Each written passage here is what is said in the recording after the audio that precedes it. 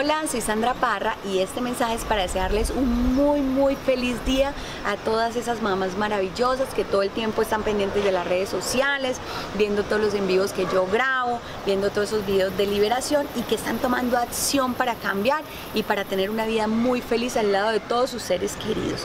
Quiero decirles que ser mamá no es fácil, ser hijo tampoco.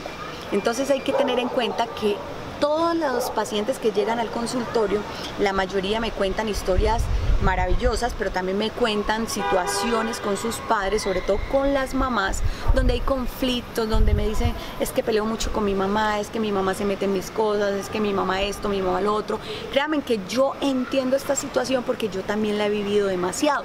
Pero quiero decirles a ustedes que el enemigo siempre busca a las personas que tú más quieres o a las que más te quieren, las personas más cercanas, para incomodarte, para hacer que surjan peleas, para que hayan divisiones entre las familias. Entonces este mensaje es para decirles que no se dejen y cuando tengan alguna diferencia con sus papás, simplemente hablen, perdónense, desen un abrazo, un beso y pónganse a orar.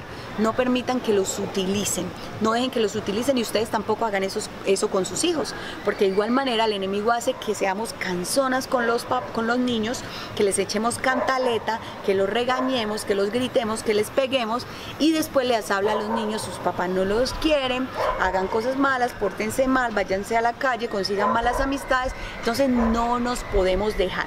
Un abracito.